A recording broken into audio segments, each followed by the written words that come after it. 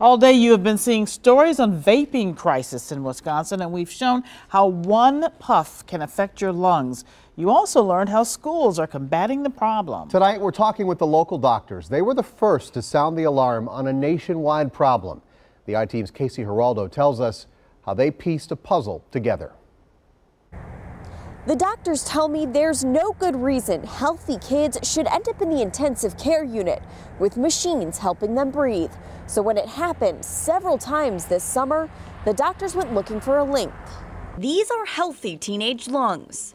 And these lungs are what doctors at Children's Wisconsin started seeing this summer. But inside her pediatric clinic on July 11th, Dr. Jennifer Schreiber couldn't see her patient's lungs. She could see Something was wrong with her otherwise healthy, athletic 18 year old patient. She was a grayish blue color. It was terrifying.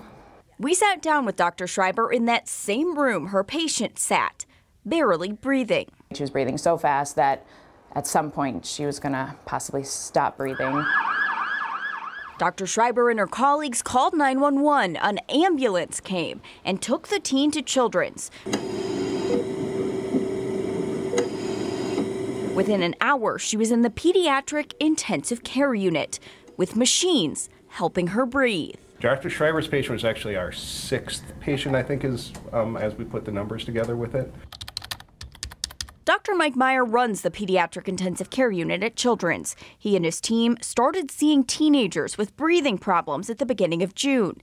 They noticed similarities as teenager after teenager came through these doors. By early July, the doctors realized this issue wasn't infectious. But they didn't know what it was. She got confused with which patient was which because the stories were all identical to each other. The doctors went looking for answers. Whenever we admit a patient to the hospitals, we've got this detailed checklist of things that we go through because the story about the disease actually may tell you more than the symptoms that the patient is displaying. The patient's stories revealed one commonality. All of these cases had vaping associated with them, and we, from a public health perspective as well as from an education perspective, we needed to raise that alarm.